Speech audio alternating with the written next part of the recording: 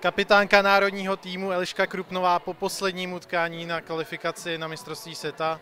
Uh, nejdříve pojďme k tomu zápasu, jak se ti dnes hrálo, Uh, dneska, dneska už to nebylo úplně ono, musím říct. Uh, třetí zápas proti soupeři, který vlastně takhle hodně bránil.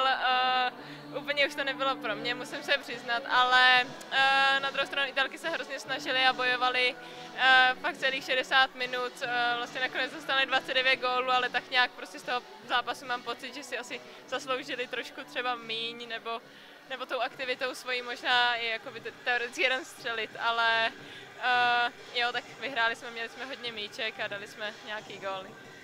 Po mistrovství světa je kvalifikace vlastně druhý nejdelší turnaj, který národní tým během cyklu absolvuje. Jak jste ten čas využili, jak se posunula atmosféra v týmu a tak dále?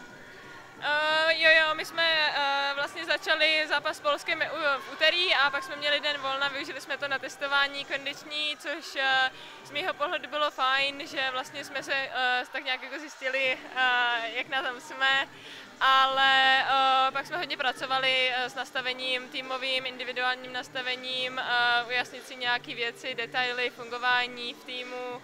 Uh, programy a, a takové věci, takže aby, aby jsme měli jasno do dalších akcí, jak co funguje, kdo co má na starosti a, a tak podobně.